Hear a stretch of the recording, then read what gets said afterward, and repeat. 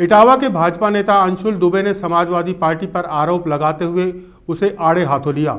उन्होंने यादव परिवार की बहू के भाजपा में शामिल होने और स्वामी प्रसाद मौर्य की बेटी के भाजपा में रहने पर तंज कसते हुए महिलाओं के लिए भाजपा को ही सुरक्षित बताया।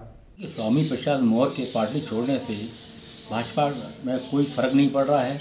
हाँ ये ज़रूर हो सकता है कि समाजवादी परिवार की बहू भारतीय जनता पार्टी में शामिल हुई है। इससे ज़रूर कुछ ना कुछ समाजवादी पार्टी में फ़र्क पड़ेगा, उनके घर की बहू जब भाजपा में आई तो उनके घर की फूटन आज समझ में आ रही है लोगों को।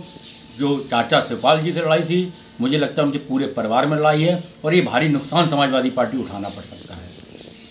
देखिए देखिए, अखिलेश जी ने ये कह रहे हैं कि उन्हें समझाने की कोशिश जारी है, उन्हें समझाया जा रहा है। लेकिन अपर्णा जी को बहुत अच्छी तरह के समझ में आ गया। वो मोदी की विचारधारा से जुड़ी हैं, देश की विचारधारा से जुड़ी हैं। और भारतीय जनता पार्टी में बेटियाँ, बहू, बहनें सब जानते हैं, सुरक्षित हैं। इसलिए स्वामी प्रसाद जी भाजपा छोड़ के गए। उनकी बेटी आज तक भाजपा में उन्हें सबको पता है कि सबकी बहुएँ और बेटियाँ भारतीय